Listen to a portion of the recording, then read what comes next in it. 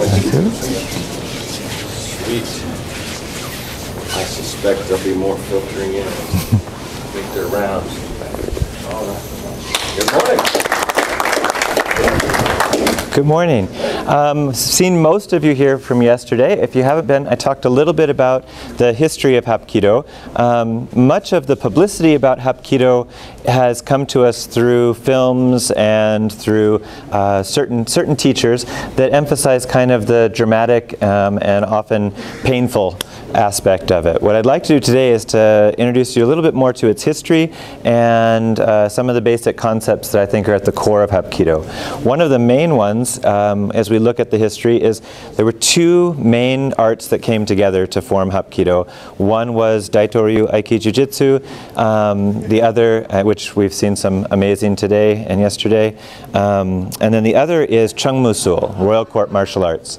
Now when I first came across this, I was a little confused. I, I, didn't know exactly what it was, and I came across a book called the Muye Dobo Tongji, and it was written in 1796 in Korea, and it was kind of the last thing to be written about Korean martial arts before a long period of time um, without, without much written about Korean martial arts.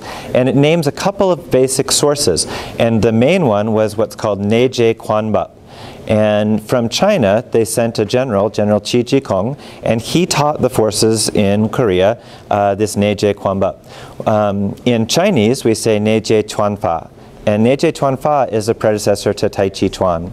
And they even go to start to talk about it, uh, about the principles of Neje Chuanfa. And sure enough, they even have the same names. So if you're doing Tai Chi Chuan, we have single whip, you have raised hands, we have shoulder stroke, same names.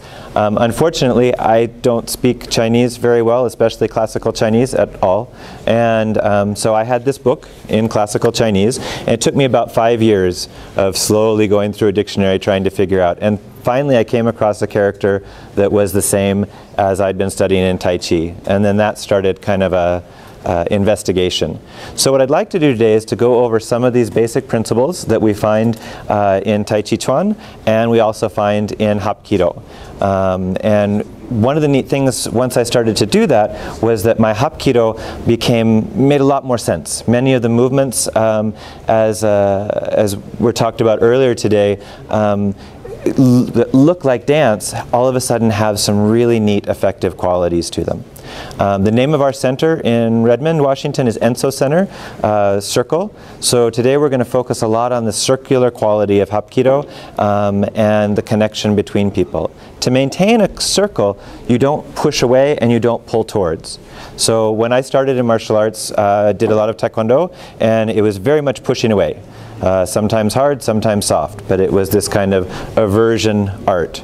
Um, then I got to study some judo, absolutely loved it. Um, the teacher I had was very much a pull towards person. Um, as we've seen today, uh, it doesn't have to be that way, but that was my initial experience. Uh, in Hapkido and Tai Chi, you neither want to push away or pull towards. And so this creates naturally these circular motions. Um, to kind of get a feel for that, um, I'd like to have everybody go ahead and grab a rope over here. This is also one of the traditional weapons of Hapkido.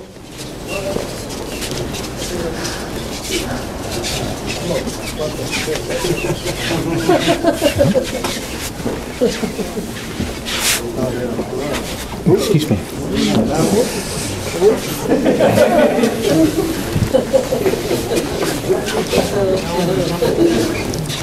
It's a little short for jump rope, but we'll do something like it.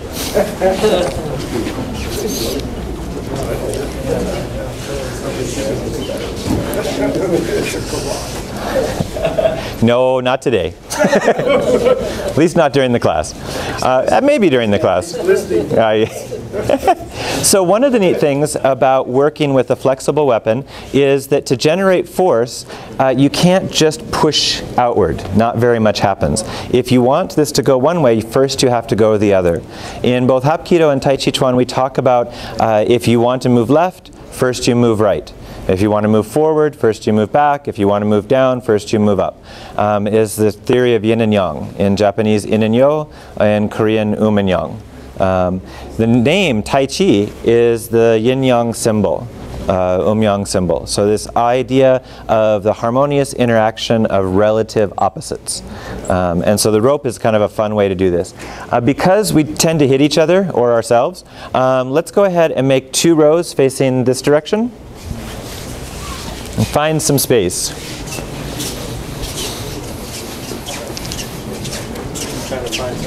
Yeah, so come a little bit forward here. And actually, if you have a partner right behind you, we can use, we'll use that later. If you want to be right here. Good. Everyone facing this way. Starting out very simple, um, we're going to go ahead. Actually, let's. We didn't do yesterday. Let's do basic ready position for rope. This one's a little bit harder, but it's kind of fun. From here, as you have the rope in one hand, if the rope is long, um, ideally it should be long enough to hold this way. Uh, these some are a little bit shorter, some are a little bit longer. From here, we're going to take it, throw forward over the elbow, and catch in a circle at your side. Those of you who are fly fishermen, this will be way too easy for you. For the rest of us, it's kind of hard. Nice. From here, casting forward, bend the elbow, oops, circle, and grab. Try not to hit your pants like I did. If you really want to and it's easy, go ahead and go the other way. Nice. So one of the things you'll notice is as you go back, if you try to bring it forward, it will speed up and curl around your arm. So to slow it down, you go in the direction that, uh, that you want to go. If you want to speed it up, you go in the direction opposite that you're going.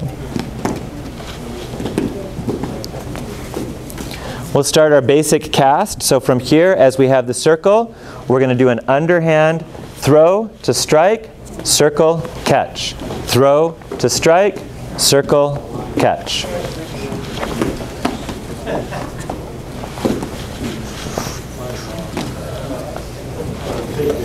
Nice. Looking good. And then once it's at your side, circle and strike forward. These were done with different weights at the end, so with the knot we were not going to hurt each other too much, um, but sometimes it would be a two to even five pound weight at the end. Tends to hit yourself, so be really careful if you ever do that. Okay.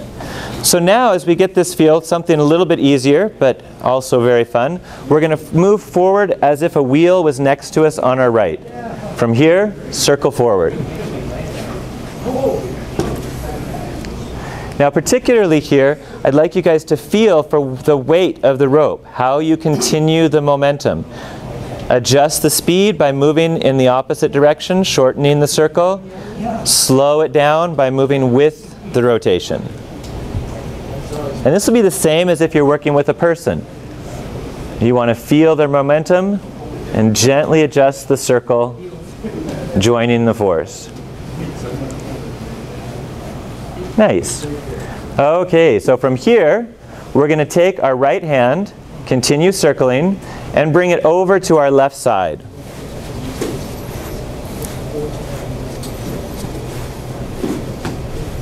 Back over to our right side.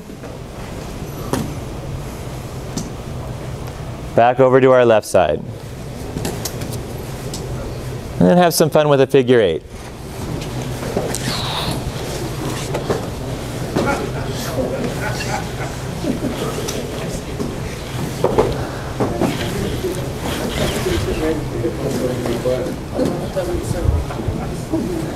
Nice. Okay. So now, as we're circling here, we've done a figure eight to bring it over to our left side. Step forward with the right foot. Pivoting to your left 180 degrees, don't change the rope at all. It should now be going upward towards the back. Now the upward figure eight, for whatever reason, seems harder than the downward figure eight, but let's give it a try. Upward figure eight. Don't hit each other.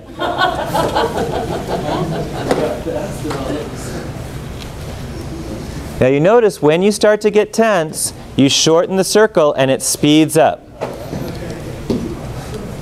Relax. Lazy circle. bring it over to your left side, circling upward. Pivot, turning to face forward, it's now circling downward. So watching one time, we have several components. I'm circling forward, I figure eight, circling forward, I pivot 180 degrees, I step forward, figure eight, pivot. The entire time the rope is spinning the same way.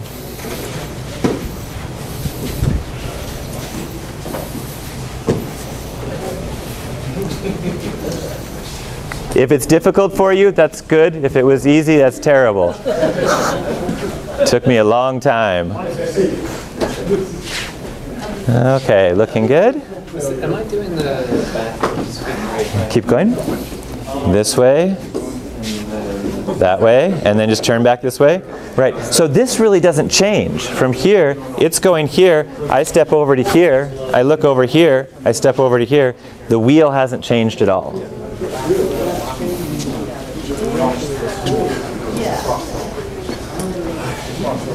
Hours and hours. Looking good, you guys.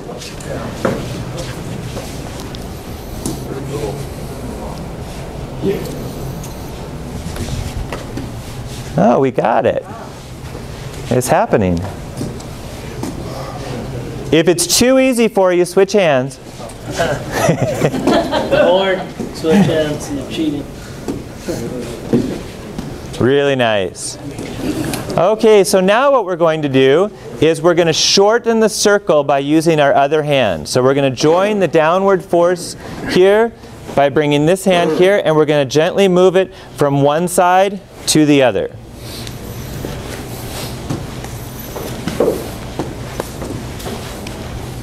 Give it a try.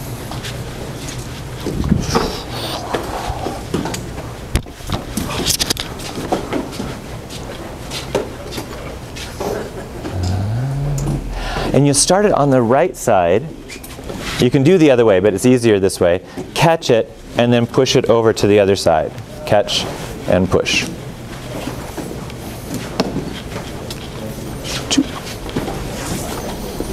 Nice. Good. Excellent.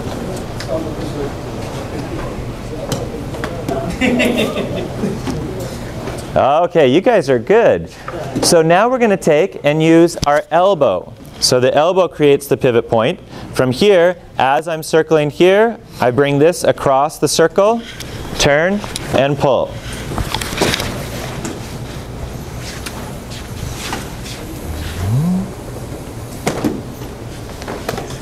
Make sure the hand doesn't go out, just the elbow. Do, you do that again, please? Yes. From here, I hope. I'll try. It's like you're doing an elbow strike forward, elbow strike back.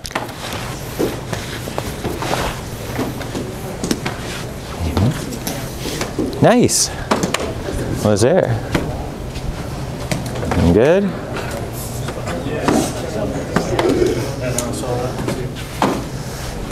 Now for me, I can always do, or not always, I can usually do the second to last technique I learned. The last one never seems to work for me. So we'll learn one more, and then hopefully this one will feel more stable. From here, I'm going to circle downward, and then I bow, and I bow. Circling to one side, head moves down, head moves down.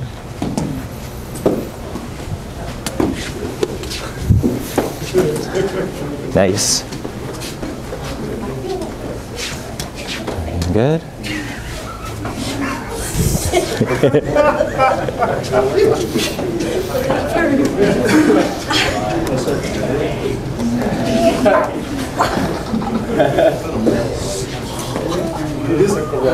yeah, you thought you were joking. Okay, so a little secret if you pull, once it's wrapped, it will unwind if it hasn't gone too far. Be careful with your neck this way. Um, let's, instead of doing this in the neck, let's use the body. From here, sideways above the head, watch out for each other. I let it circle around my body, grabbing with the other hand. From here, it circles over the bicep, around here. Ideally, both elbows are inside. And the reason is, is once I have this position, I shrug my shoulders and it speeds it up. I can come this way, around, and pull.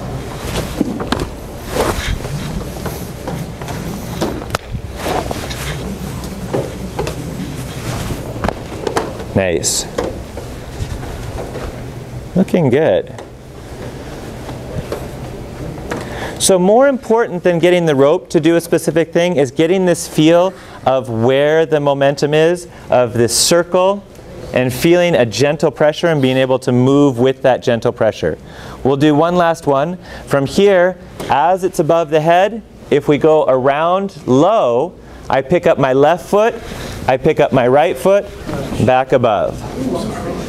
Feel the momentum, move one way, move the other way. It's a-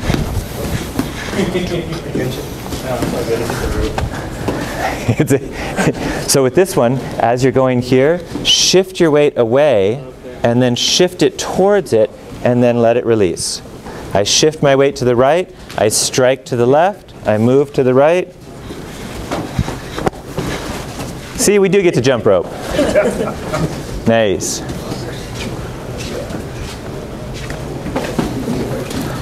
Okay, let's go ahead and set the circles, um, set the circles, set the ropes on the back edge of the mat and find a partner.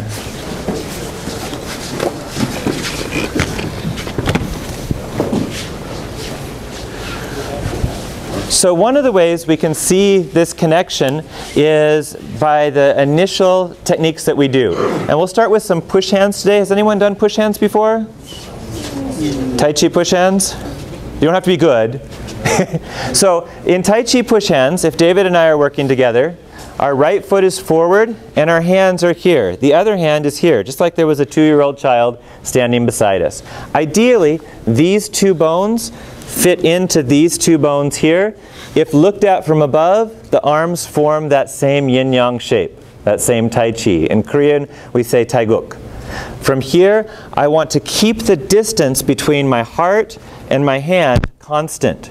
So we call it pushing hands, but really it's more of sensing hands. So if we turn at the angle here, from here I shift with my legs back and forth, creating a circle. Just like the rope, we want to feel that momentum move around.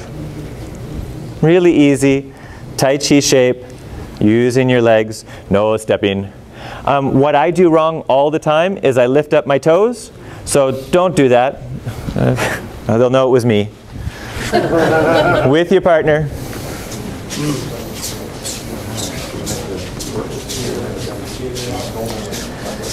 Nice.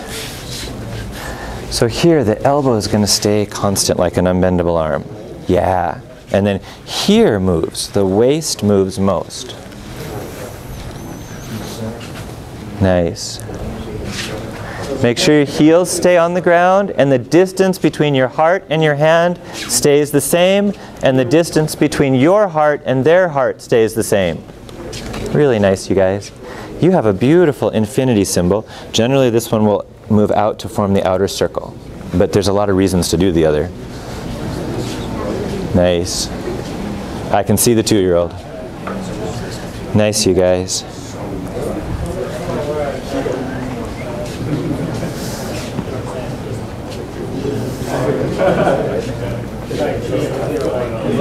Okay. So the next thing that we're going to do is we're going to move from this into what we call Hoshinsul, which is a form of Taijutsu. Um, if, if you would, from here, instead of taking back of the wrist to back of the wrist and trying to do a joint lock here, I want to move with this circle, keeping the distance between us constant while I'm facing him. From here, as I circle outward, I move over to the angle and turn. Notice here, I'm still facing him. The distance between us is relatively constant. From here, circling outward. If I try to do this over here, he can start to feel that, and I'm off balance. So from here, I've moved towards him. He's absorbed that force. It's circled outward. I move over here and here. I'm facing him here and here. If we want to go farther down, we don't push here. We gently elongate this hand.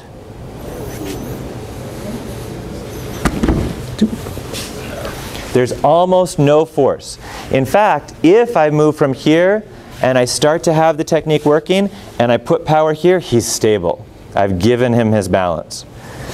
So again, from here, I circle this way. If it didn't work on the first pass, move again. Circling, circling. Don't feel you need to make the technique work right away. From here, I slide gently forward, I turn, and guide. Thank you. Cool, thank you. With your partner.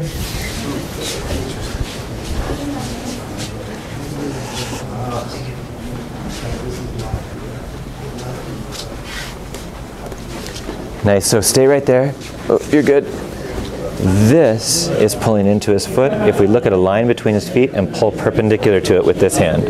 This, yeah. That's it.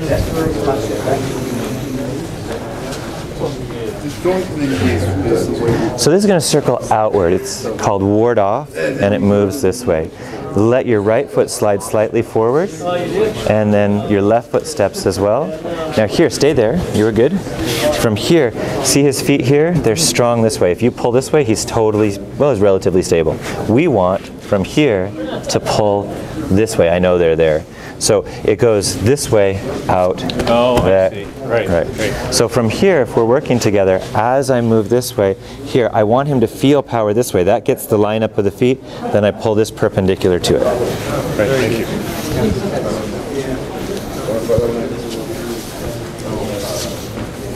Nice. Now the power went with this hand. Actually, we'll, we'll do this as a group. This is good. Okay. Okay. One of the other basic principles is, uh, with this yin and yang principle, this um and yang principle, is power from your right foot moves most efficiently to your left hand. Power from your left foot mo moves most efficiently to your right hand.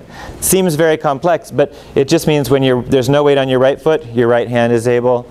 You're, when no weight on your left foot, your left hand is able. So from here, if we're working together, if I could, from this position, as I do my initial step, this hand doesn't have so much power. This hand has power. As the weight moves into this foot, this hand naturally floats up and has power. Then from here, I shift my weight in this way, pushing with this hand. As the weight shifts to my left foot, my right hand again has power. Right foot weight is off of my right foot and guides this way. If you find yourself here and then you move this way, again, you've hit a wall.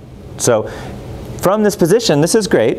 Just start one. Shift the weight to one foot and give power to the opposite hand. Then shift weight to the other foot, give power to the opposite hand. Shift, shift, shift, shift, shift.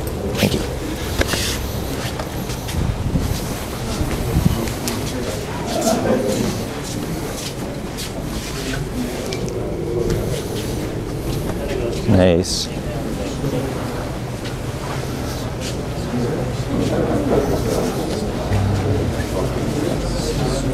Really nice.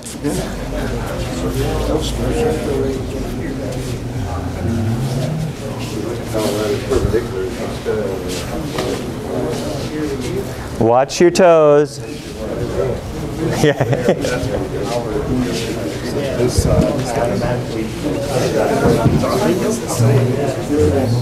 For most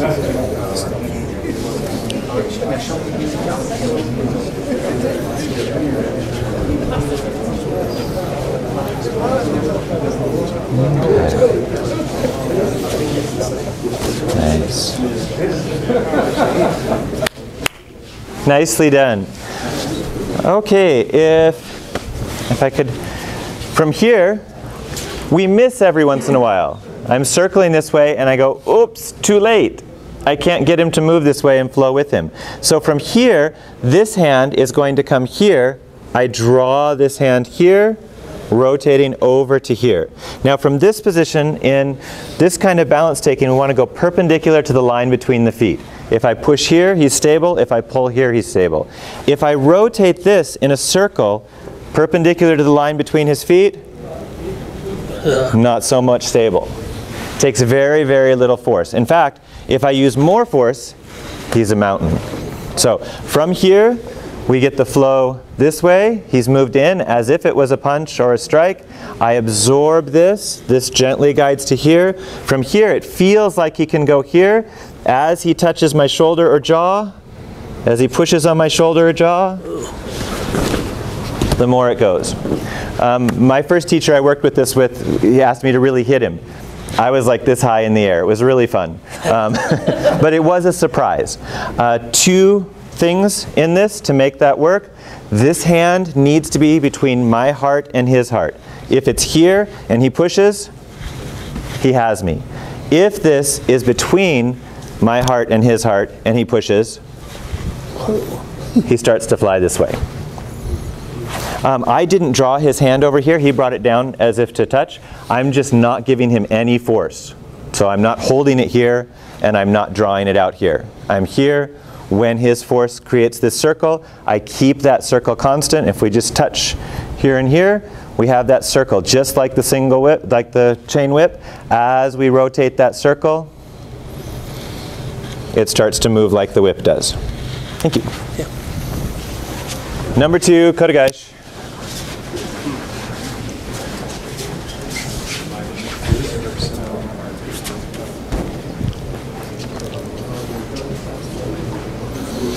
If you can do it at a certain speed, try slower. If you can do it with a certain amount of force, try less. If you guys stay right there, this is really good. If you just adjust this in between the two of you, but maintain the rotation. And you're being really nice and kind of hanging out here, but if you reach to touch him, and he pulls this in the middle, and you feel, oh, So not drive it out. you don't drive it out. You want this actually to be from here. We want this to be right here in between. Two fingers here as he's punching me here. I want to just connect here. And so as he touches my head, the more he goes. I can try. Yeah. That's good. That's really nice. If you keep it right between you, you would have landed on him. So that was good. so yeah, if this comes here, grabbing the thumb, right, stay there. Now if you pull this between your heart and his heart, a line between the two, right there, doesn't feel like you have any twist. But if he reaches over to touch you, here, he starts to move that way. Yeah.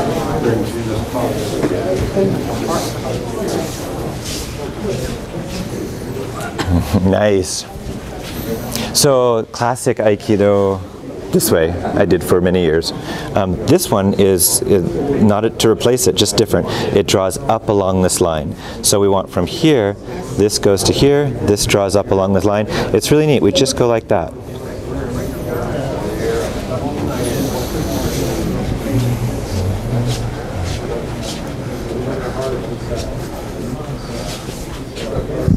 Now it's not between you, so see how powerful she is? Take this and bring it right between your heart and hers. Point her fingers toward the ceiling and just relax, soft. You can even just have this finger, the thumb doesn't even have to be there. She reaches out to touch this hand, and as she pushes you, you want this, stop for just a sec, from here, if I could. This way, here and here, we want this just like this. When she pushes on my hand,